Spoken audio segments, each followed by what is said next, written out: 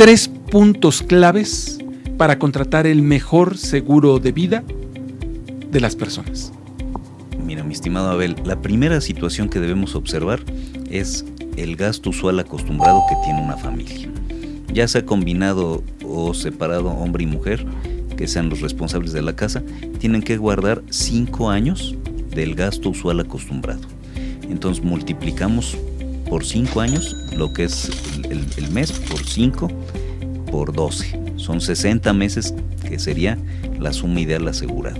Segundo, es que tomen en cuenta una compañía que lleva una trayectoria, que haya estado en el país durante largo tiempo y haya sido calificada bien por todos y cada uno de los usuarios. Uno es el monto que debemos fijarnos que quede asegurado. Y el otro es que tengamos cuidado de que esa compañía que estamos contratando para que garantice cierta suma en caso de que nosotros faltemos, no vaya a desaparecer, no vaya a cambiar de razón que no cambie de social, que no cambie de apellido, que no cambie de razón social, que lleve mucho tiempo en el mercado, yo diría más de 100 años en el mercado financiero, eh, con todas las de la ley de la Secretaría de Hacienda y Crédito Público, con la Comisión Nacional de Seguros y Fianzas. Y el tercer punto muy cuidadoso es elegir bien a tu asesor, que es igual una persona de prestigio, que es, conozca del tema, que te dé los pormenores y te explique todas las condiciones de tu seguro. A ver, eh, Víctor, creo que aquí tocas un punto muy importante. No es que haya que desconfiar porque finalmente hay personas que honestamente están haciendo su trabajo, pero hay un mayor margen de eh, riesgo si de repente se aparece una persona X con una tarjeta de presentación y dice que es representante de X compañía y aunque sea muy prestigiada la compañía, pero él llega, se presenta, no lo conoces y entonces te ofrece que contrates servicios financieros para que eh, garantices eh, a tus familiares en caso de que tú faltes. ¿Cómo podemos cuidar esto? Desde luego los agentes tenemos una certificación y tenemos, pueden consultar quién es agente, estamos ante la Comisión Nacional de Seguros y Fianzas y ante la Secretaría de Hacienda y Crédito Público estamos registrados. Tenemos un número de agente ante la comisión y tenemos un número de agente ante la compañía en la que uno se vaya dado de, alta. Sería bueno en ese sentido investigar en la aseguradora que realmente este es un agente de esa aseguradora.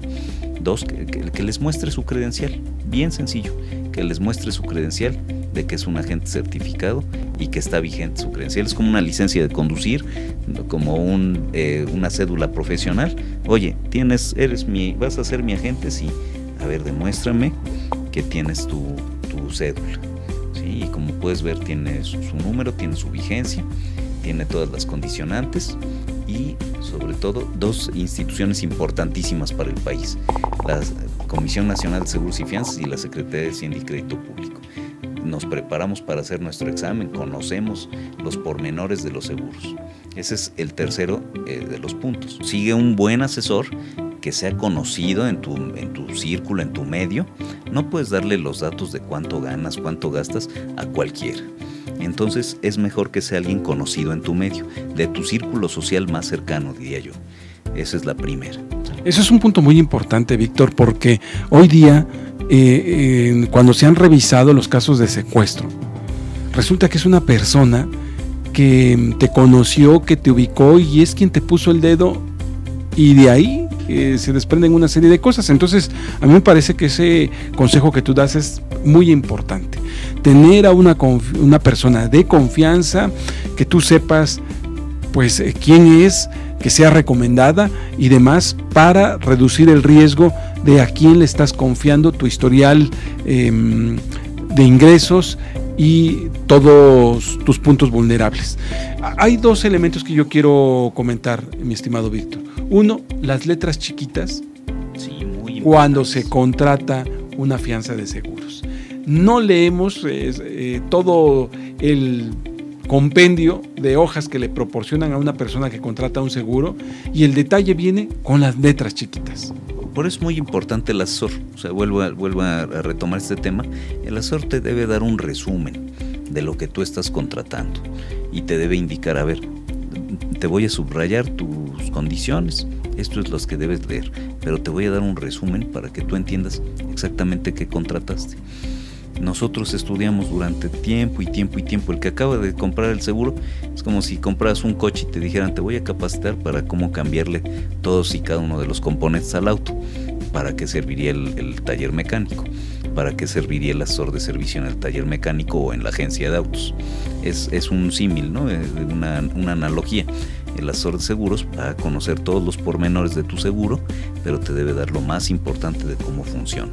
Por ejemplo, contratas una póliza de vida, pues de una vez que te digan cuáles son los requisitos que debo tener a la mano junto a la póliza en caso de que suceda el siniestro que nadie esperamos, tocamos madera, pero de una vez, oye, que tengo que tener la copia del IFE, que tengo que tener el acta de defunción, que tengo que llenar el formato determinado, que tengo que tener, depende de la situación, que si es eh, de forma violenta, lo que quieras, con un acta del Ministerio Público o el, simplemente el acta de defunción, dependiendo las situaciones en las que se presente, de una vez por todas y antes saber.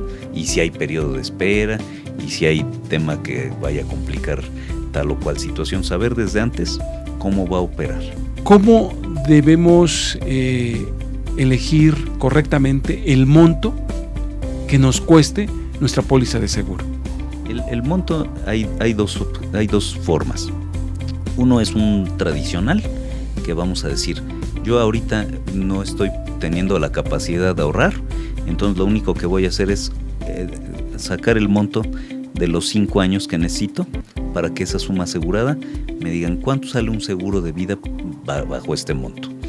Y después compararlo, si yo le digo, oye, ¿y si yo ahorro 10 años? Durante 10 años esa suma asegurada me la das y comparamos. Vamos a pensar que una persona que le cuesta 20 mil pesos al año un seguro, ¿no? De alguna forma eh, va a tener 3 millones de pesos asegurados, ¿no? Entonces va, gasto, gasto 20 mil pesos y tengo 3 millones de pesos asegurados. Oye, fíjate que yo tengo la capacidad de ahorrar 300 mil pesos al año. Ah, entonces ya hablamos de otro producto.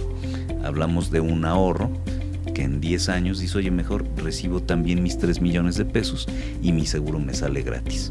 En vez de gastarme 200 mil pesos, mejor me guardo 3 millones de pesos y mi seguro me sale gratis porque va incluido dentro de las primas.